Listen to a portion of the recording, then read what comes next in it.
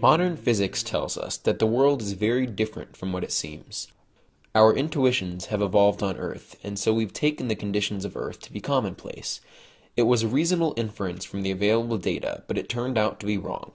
Earth is very strange. It's strange in just the way that is necessary for biological life to evolve. Just far enough away from a star so that the temperature on the surface of the planet maintains liquid water, and near just such a star that contains gas injected with the heavy elements from exploding supernova. And we shouldn't be surprised by this cosmological coincidence. Where would we, as biological life, find ourselves but in a region of space hospitable to life? As we're able to see through better technology greater expanses of our universe, we are beginning to get a picture of our cosmos which encompasses much more than simply planets and stars, although these things are particularly interesting to us. The inhuman and inhospitable nature of our universe can make its study seem irrelevant to our daily lives. This is not true. In this video, I will give an outline of the scientific advances which led to our best current cosmological model, a multiverse so vast that sheer probability dictates that if you travel far enough, you'll eventually run into a planet identical to the Earth. I'll then make my own argument that if this model is true, the logical and natural consequence is that we are all one in being, not in an abstract sense, but in the very literal sense that we are all part of the same conscious entity. The double slit experiment. We've discovered that all matter and energy display the dual characteristics of particles and waves. The double slit experiment, or Young's experiment, demonstrates this.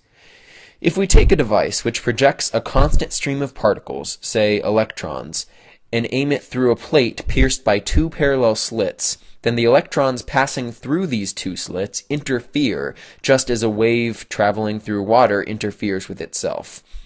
This interference leaves a pattern on the wall behind the plate. This makes sense in the case of the classical wave because interactions can take place through the persistent medium of water. But it doesn't make sense in the case of electrons, which we know to be discrete particles. Perhaps interactions happen between the different electrons which cause the interference pattern. To test if this is the case, we reduce the stream of electrons to timed individual shots. Despite the fact that no two electrons are being shot at the same time, over a large span of time, eventually the same interference pattern will appear on the wall behind the plate. When we shoot the electron, we know that it is alone. When the electron hits the wall, we know it is still only one electron. Matter and energy must be conserved.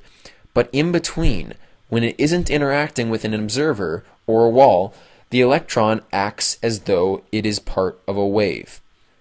The mainstream explanation of this is known as the Copenhagen interpretation, which says that while it doesn't interact, matter takes on the form of a probability wave. The electron in transit exists as a diffuse wave of probability and upon interaction collapses into a single outcome. There is a competing interpretation developed by Hugh Everett, the many worlds interpretation. Since Everett could see no mechanism for wave function collapse, he worked out a mathematical explanation which posited the real existence of all possible outcomes.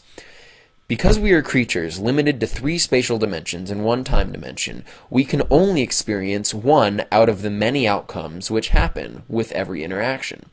So, in transit, the electron is a probability wave, as is the nature of matter, but also when it interacts, that same probability wave interacts with the whole wall.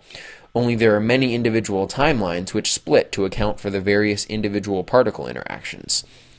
The consequence of this is that there result an enormous number of parallel space-time universes with countless branching timelines. At every moment, whatever you might potentially do, you do in some branching timeline or another. I encourage you to research the matter for yourself and see which interpretation you find compelling. The inflationary Big Bang model. The standard Big Bang model goes, in short, as such. 13.7 billion years ago, a singularity of infinite energy density underwent a very rapid expansion. Over the past 13.7 billion years, this expansion resulted in our observable universe. There have been several problems not explained under this model discovered in the last 50 years. I'll discuss two. The horizon problem. The early universe was extremely hot. It glowed so brightly that it was completely opaque. As space expanded, the energy matter density lessened, and the universe proceeded to cool. This process still hasn't completely finished. There's a cosmic microwave background radiation which permeates the universe. Looking out to the farthest distances possible, those distances just after the opaque period in the universe, we can observe that background radiation. What we find is that the thermal equilibrium between opposite sides of the universe is consistent to one part in 10 to the fifth power. The light from those distant regions is just now reaching us. Since the Big Bang, those regions have never had any interaction. So why is it that they are in such consistent thermal equilibrium? The flatness problem. Einstein showed that matter and energy curve spacetime. That applies at the small and large scale. This means that the large scale universe must have some level of curvature between hyperbolic and spherical. A flat universe is only one seemingly random possible state on this continuum. It would be extremely unlikely that we have just the amount of matter necessary for a flat universe. Despite the unlikelihood, when we measure the curvature of the universe, we find it to be flat. Inflation as the solution. In order to resolve these and other problems with the Big Bang model, Alan Guth in 1980 proposed the theory of inflation. If there is a vast inflating background in which singularities form, become trapped in a false vacuum, giving them time to achieve thermal equilibrium, then decay into a true vacuum, this very rapid background inflation force, which may have something to do with dark energy, would cause the flattening of space to the degree which we currently observe. Under this model, a vast inflating vacuum could, through quantum fluctuations, give birth to singularities which would expand out to form a vast number of causally disconnected bubble universes. These universes are theoretically distant from us in space, but practically they are inaccessible as they move away from us at faster than the speed of light. Matter and information are limited to light speed, but as far as we know, space itself is free to expand at whatever rate. As far fetched as it sounds, this cosmological picture is consistent with our current best understanding. String theory also has its own multiverse, which includes a preposterously big cosmos, although I'll leave that research to you. So, I promised an argument following from these models for our oneness of mind. Our personal mental experience has a robust physiological explanation, yet ultimately, we are epistemologically disconnected from the physical world. We can infer its existence from our experiences, but we can never really access the physical world in our consciousnesses. The room around you, I'm sure, exists, but what you see is a mind generated image. Actually, most of it isn't even based on up to date sense input. Your brain constructs what it expects to see. That's why many optical illusions work. We are essentially computers which take various sensory inputs and synthesize a continuous experience that we call our self. This self is a function of that physical body, just like software is a function of a physical computer. From our perspective, as that software of self experience. We can never know if the apparent physical apparatus, our bodies and brains, really exists, or if our software is being run on something else that we have no evidence for. And here's where the multiverses come in. If those scientific models are correct, then there is other hardware which could run your software. There is other hardware that does run your software.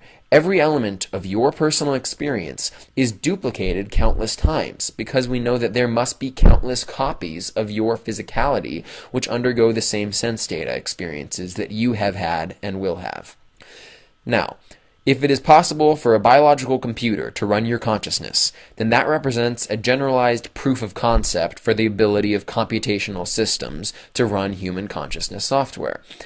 As long as the physical possibility exists, then, given that the aforementioned scientific models are right, it will happen somewhere. Any possible human consciousness timeline is going to be actualized somewhere. So what? There are many copies of you and everyone else out there. What does that have to do with you?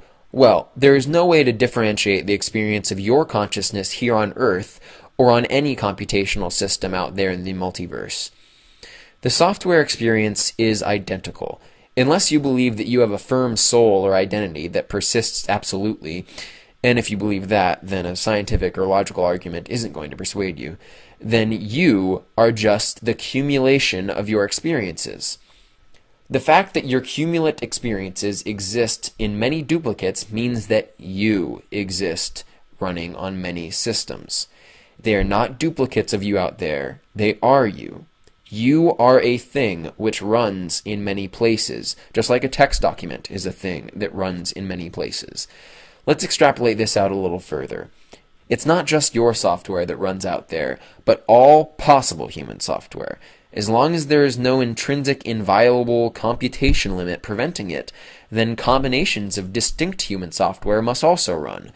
Combinations of all human software, or even all conscious software, must run as long as there is no physical limit to that type of computation.